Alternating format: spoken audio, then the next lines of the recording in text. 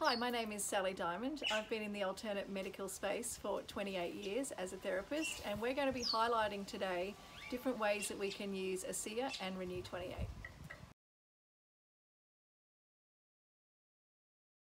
If you're having breathing difficulties or having trouble getting air in and out for whatever reason, I recommend that you use um, the liquid redox in a nebulizer you can simply put about 5 to 10 mils in the top of the nebulizer. This is a portable version. You can get this online, um, Chemist Warehouse, or you can just do the old Google on nebulizer. It has a really easy to press button there.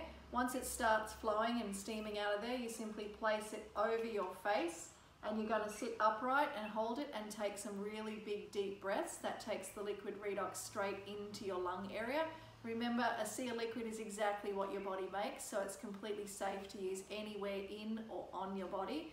If you can do this at least three times a day, you will notice a significant change in your um, breathing and you can do it during an acute attack um, and obviously doing it in between some of the other things you might be nebulizing. Just don't mix any of the ASEA liquid with anything else. It must be pure, straight ASEA liquid in the canister. You can also use it in a spray bottle. You can get these on eBay. It's called a nasal spray bottle. And you simply close one nostril, breathe up. It's quite a gentle spray that comes out. And you can get that, that redox straight up through your sinus area. So you can do this as often as you need to through the day. So have it with you in your bag or at your desk. And uh, the nebulizing, most definitely get that at least two or three times a day.